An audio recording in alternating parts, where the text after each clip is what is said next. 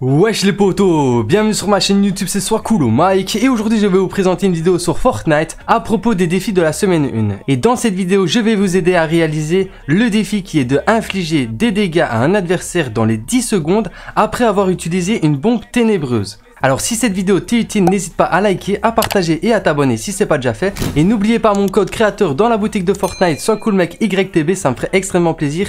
Et c'est parti pour la vidéo, let's go alors première astuce que je vais vous donner c'est tout simplement de demander de l'aide à un groupe. Donc vous appuyez deux fois sur X pour valider et demander de l'aide de groupe. Alors ensuite ce que je vais vous conseiller c'est surtout de ne pas aller en euh, foire d'empoigne parce que je n'ai jamais trouvé de bombes ténébreuses en foire d'empoigne. Je pense qu'ils les ont enlevées euh, suite à un glitch. Donc franchement allez en solo. C'est assez galère de les trouver mais quand vous allez trouver je vais vous donner une petite astuce pour y arriver un peu plus facilement. Alors cette astuce c'est tout simplement un petit glitch qui va vous permettre de rester invisible autant de temps que vous le voulez.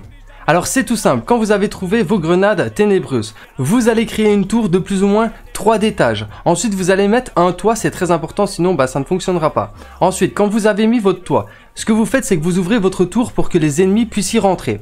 Ensuite vous allez activer votre bombe ténébreuse et vous allez sauter sur les parois en illimité ce qui va vous permettre de rester invisible en illimité. Alors faites cette astuce près d'un ennemi, comme ça à un moment ou à un autre, il va venir près de votre tour. Dès que vous voyez qu'il est près de votre tour, vous vous laissez tomber, vous sortez votre arme et vous lui infligez des dégâts. Moi j'ai réussi à lui infliger 82 dégâts, donc si je refais cette technique, genre une deuxième fois, voire une troisième fois, je vais pouvoir réussir ce défi un peu plus facilement.